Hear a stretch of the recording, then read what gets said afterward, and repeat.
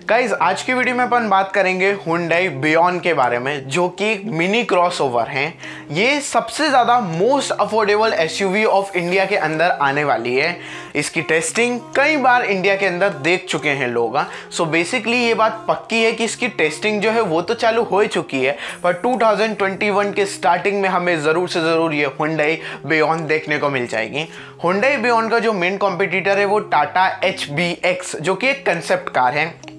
अब वो किस नाम से आएगी, वो तो कंफर्म नहीं है, पर टोटली यहाँ पे एक बात पक्की है कि टाटा एच और हुंडई बियॉन में काफ़ी ज़्यादा तगड़ा और मेजर कंपटीशन होने वाला है। सो so गाइज़ आज की वीडियो में अपन बात करेंगे हुंडई बियॉन के डिज़ाइन के बारे में डायमेंशन इंजन स्पेसिफिकेशन एंड देखेंगे कि क्या ये मिनी क्रॉसओवर सबसे ज़्यादा मोस्ट अफोर्डेबल एसयूवी तो रहेगी रहेगी, पर क्या एक ये बेहतर ऑप्शन है? प्रीमियम हैचबैक को इग्नोर करने का, यानी कि आप ओवर द आई ट्वेंटी के आपको अब मिनी क्रॉसओवर ज़्यादा अफोर्ड करना चाहिए, क्योंकि हमें एक बात पता है कि सबसे ज़्यादा बिकने वाली कार इंडिया के अंदर फ़िलहाल के क्षेत्र में जो है वो है एस सेगमेंट है। सो क्या मिनी क्रॉसओवर सेगमेंट ज़्यादा चल पाएगा, नहीं चल पाएगा, इन सारी बातों के बारे में इस वीडियो में अपन डिस्कस करेंगे। So guys without wasting time let's get know about the Hyundai beyond let's get started है। गाइज़ अगर ये वीडियो आपको पसंद आए तो आप इस वीडियो को लाइक सब्सक्राइब एंड शेयर ज़रूर कर सकते हैं। और जो नए यूज़र्स हैं, वो सब्सक्राइब तो दबाएँ, सही उसके बाजू में एक बेल आइकन होगा, उसको ज़रूर से प्रेस करें। वरना क्या है यार नोटिफिकेशन नहीं जाते बेल आइकन दबाए बिना। तो मुझसे कुछ पूछना है तो आप मेरे इंस्टाग्राम आईडी को ज़रूर फॉलो करें। मेरा इंस्टाग्राम आईडी है Parth dot Soni seventy five so without wasting time let's get started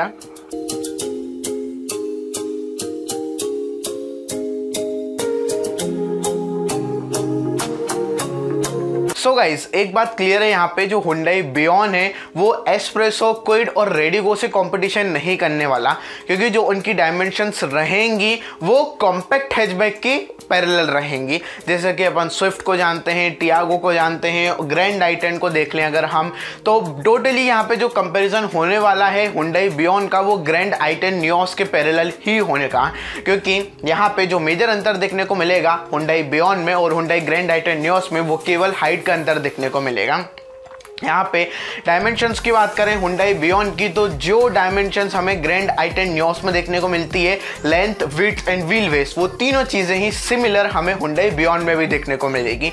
major अंतर यहाँ पे हमें हाइट में देखने को मिलेगा। कॉम्पैक्ट एस को ध्यान में रखते हुए यहाँ पे जो हाइट है, वो ज़्यादा रहेगी ग्रैंड आइटन न्यूस के कंपेरिजन में। और यहाँ पे टाटा भी पीछे पीछे हुंडई बियॉन को टक्कर देने के लिए अपनी एच बी जल्दी से जल्दी लॉन्च करने वाली है। पर मोस्ट प्रोबेबली यहाँ पे हुंडई बाजी माल ले जाएगी और सबसे पहले हुंडई बियॉन लगता है कि इंडिया के अंदर लॉन्च हो जाएगी, क्योंकि उसकी टेस्टिंग देखी जा रही है सबसे ज़्यादा मोस्ट एंड इंपॉर्टेंट पार्ट ये है। गाइस ये जो सेगमेंट है, वो एस्प्रेसो क्विट से कहीं गुना ज़्यादा अलग है, क्योंकि हुंडाई बियॉन्ड की डायमेंशन हर तरीके से अलग होगी एस्प्रेसो क्विड के कंपैरिजन में डेफिनेटली तो सबसे ज़्यादा जो मेन कॉम्पिटिटर खिलाएगा हुंडई बियॉन्ड का, वो प्रीमियम हैचबैक सेगमेंट भी नहीं रहेगा, वो रहेगा कॉम्पैक्ट हैचबैक सेगमेंट टोटली जैसे कि जो आपको सबसे ज़्यादा कन्फ्यूज़न होता है प्रीमियम हैचबैक और कॉम्पैक्ट एस में, वही कन्फ्यूज़न आपको अब यहाँ पे मिनी क्रॉस के बीच में और कॉम्पैक्ट हैचबैक के बीच में ज़रूर से ज़रूर होगा. गाइज़ अगर बात करें the design of Hyundai beyond तो सबसे पहले इन्होंने जो टीजर लॉन्च करा था उसमें इनकी हेडलाइट शो की गई थी जो कि काफ़ी ज़्यादा स्लीक थी। एंड सेकेंडली यहाँ पे हमें एलईडी टेल लाइट का ऑप्शन देखने को मिला था जो कि वर्टिकल शेप में थी टोटली वेल well, यहाँ पे अगर front end side end design की बात करें तो एक चीज़ से मैं ज़रूर डिसअपॉइंटेड हूँ हुंडई बियॉन्ड में वो ये है कि इसका जो डिज़ाइन है वो हम काफ़ी ज़्यादा प्रीमियम नहीं है या फिर अच्छा तो है ये बात तो पक्की है बट कुछ नयापन नहीं है इसके डिज़ाइन में। अगर आप ग्रैंड आइटन न्यूस को देखोगे तो उसी तरीके का सिमिलर और पैरेलल डिज़ाइन आपको यहाँ पे हुंडई बियॉन्ड का दे देखने को मिलेगा, जहाँ पे आपको जो हेडलैम्प्स है वही आपको ओवल शेप में या फिर जो आई शेप में इंस्पायर्ड होते हैं as compare to the Grand आइटन Nios वही तरीके के आपको हेडलैम्प्स देखने को मिल जाएँगे। अपार्ट फ्रॉम दैट यहाँ पे आपको हुंडई की लार्ज और मैसिव ग्रिल देखने को मिल जाएगी as parallel to the grand आइटन news और फॉगलैम का ऑप्शन आपको वहीं पर नीचे की तरफ़ देखने को मिल जाएगा। एंड अगेन यहाँ पे जो टीजर टीजर आया था, वहाँ पे हेलोजन हेडलैम्प्स का ऑप्शन देखने को मिला था। हाँ प्रॉबेबली यहाँ पे टॉप एंड वेरिएंट में आपको प्रोजेक्टर्स का ज़रूर से ज़रूर ऑप्शन देखने को मिल जाएगा। पर एलईडी प्रोजेक्टर होगा या फिर नहीं, ये कंफर्म बात नहीं है। Coming to the side view और साइड लोग तो वो भी ग्रैंड आइटन न्यूस के लगभग पैरेलल ही दिखता है। जो लेंथ है, वो ऑलमोस्ट ग्रैंड आइटन न्यूस के बराबर ही रहेगी। अपार्ट फ्रॉम दैट यहाँ पे एक बार और पक्की है, जो विथ है, वो भी ग्रैंड आइटन न्यूस के लगभग टोटली सेम ही रहने वाली है। पर जो हाइट है, वो न्यूस से ज़्यादा बड़ी होगी। न्यूस स्विफ्ट टियागो या जो भी सेगमेंट है हैचबैक के, उनसे ज़्यादा बड़ी हाइट हमें यहाँ पे हुडाई बियॉन्ड में देखने को मिलेगी, जो कि एक मिनी क्रॉस का नाम दिया गया है। सो एक बात पक्की है, अंदर की तरफ़ आपको यहाँ पे जो हेडरूम है, वो काफ़ी ज़्यादा बढ़िया और बेहतर मिलेगा हैचबैक के कंपैरिजन में। तो हो सकता है मेरे ख्याल से आने वाले टाइम में आपको डेफिनेटली मिनी क्रॉसओवर ज़्यादा पसंद आएगी कोई भी कॉम्पैक्ट हैचबैक के कंपेरिजन में। क्योंकि जिस तरीके से एसयूवी को लोग प्यार दिखा रहे हैं इंडिया के अंदर, उस तरीके से तो मिनी क्रॉसओवर इंडिया के अंदर काफ़ी ज़्यादा चलने वाली है। यहाँ पे व्हील कॉन्फ़िगरेशन की बात करें तो उनमें भी आपको ज़्यादा चेंजेस देखने को नहीं मिलेंगे। सिमिलरली 14, 15 इंचेस के व्हील ऑप्शंस आपको यहाँ पे बियॉन्ड में देखने को मिल जाएँगे with the diamond cut alloy wheels in the top end variant that is probably Asta and Asta O और एरा और मैगना आएगा तो वहाँ पे आपको wheel rim simple steel rim के ऑप्शन देखने को मिल जाएँगे। मैं कह सकता हूँ जो साइड डिज़ाइन है वो ऑलमोस्ट आइडेंटिकली पैरेलल है ग्रैंड आइटेन के कंपेरिजन में। हुंडाई ने गाड़ी तो अच्छी निकाली है पर उसमें कुछ यूनिक डिज़ाइन नहीं है। कुछ यूएसपी नहीं दिख रहा है। जो ग्रैंड आइटन न्यू से ऐसा लग रहा है कि उसकी हाइट को बढ़ा के हुंडई बियॉन्ड का नाम दे दिया गया है।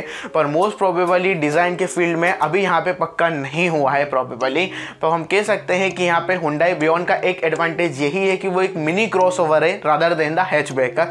यहाँ पे इंटीरियर की बात करें तो ज़्यादा इंटीरियर्स रिवील नहीं हुए हैं, पर यह टीजर देखा गया है कि ब्राउन कलर के इंटीरियर्स शो हुए हैं। जहाँ पे सीट्स आपको ब्राउन रैप्ड देखने को मिल जाएँगी। Most probably top end models में आपको लेदर रेप्ड सीट्स देखने को मिल जाएँ, चूँकि एक ये क्रॉस ओवर है एज पर कंपेरिजन में। और डैशबोर्ड का डिज़ाइन आई नो कि कैसा होगा, क्योंकि अभी कंपनी ने यहाँ पे कुछ भी रिवील नहीं करा है। पर सबसे ज़्यादा बढ़िया बात ये होगी देखने वाली कि क्या इसमें हमें ब्लू लिंक टेक्नोलॉजी देखने को मिलेगी या फिर नहीं।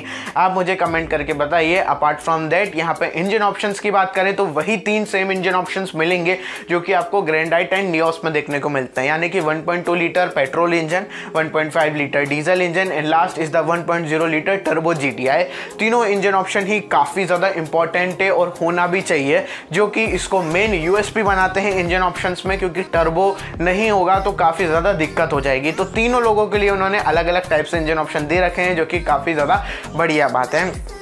गाइज़ यही है यहाँ पे हुंडई बियॉन्ड की कहानी। मेरे ख्याल से ये काफ़ी ज़्यादा कंपटीशन खा जाएगा कई हद तक कॉम्पैक्ट हैचबैक्स का, क्योंकि जिस तरीके से लोग यहाँ पे एस को पसंद कर रहे हैं। गाइज़ हुंडई बियॉन्ड की अभी इतनी ही इन्फॉर्मेशन आई है, पर यह बात पक्की है कि इंडिया के अंदर जो सबसे पहले मिनी क्रॉसओवर देखने को मिलेगी, वो हुंडई बियॉन्ड ही होगी।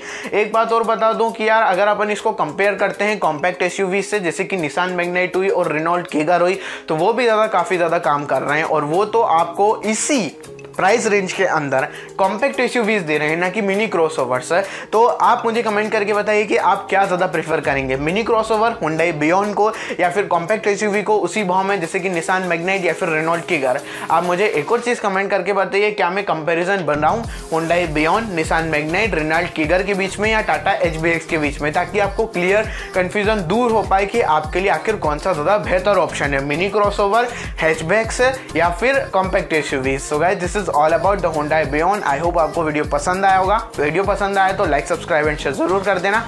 And guys finally thanks for watching